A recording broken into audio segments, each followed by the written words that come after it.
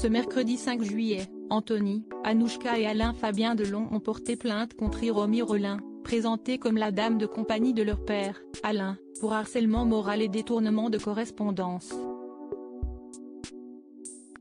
L'aîné de la famille a expliqué, dans une déclaration écrite, qu'il la suspecte d'abus de faiblesse en évoquant notamment l'accident cardiovasculaire dont a été victime l'acteur de 87 ans en 2019, qui aurait été l'élément déclencheur.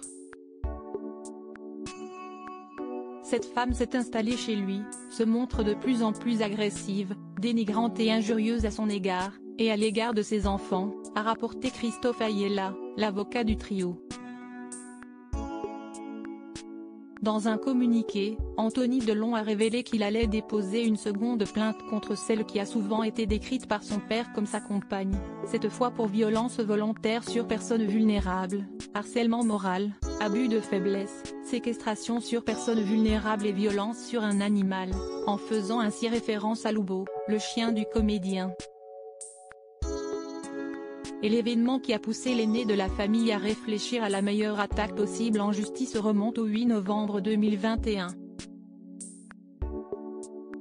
C'était alors l'anniversaire d'Alain Delon et pour l'occasion, un déjeuner était prévu en compagnie des siens. Mais alors que l'humeur aurait dû être à la fête, le père de Lou, Alison Liv est entré dans une colère noire à l'égard d'Iromi Relin supérieur à supérieur à Alain Delon, un symbole d'élégance et de magnétisme un accident domestique passé sous silence.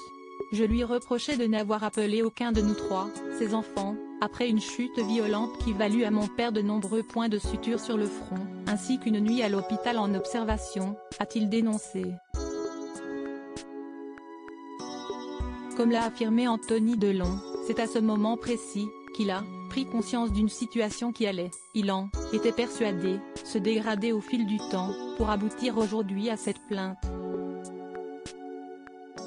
Deux mois après l'accident probablement domestique d'Alain Delon, son fils aîné a donc pris la décision de commencer à notifier et relater des faits qui se déroulaient dans leur cercle familial et qui concernaient plus spécifiquement les rapports entre son père et sa dame de compagnie. La famille du comédien dénonce également le comportement de cette dernière, qui n'a, Uray, de cesse d'isoler le patriarche de son entourage, quitte à utiliser les menaces. Article écrit avec la collaboration de 6 médias Crédit Photo, Guillaume Gaffio Bestimage.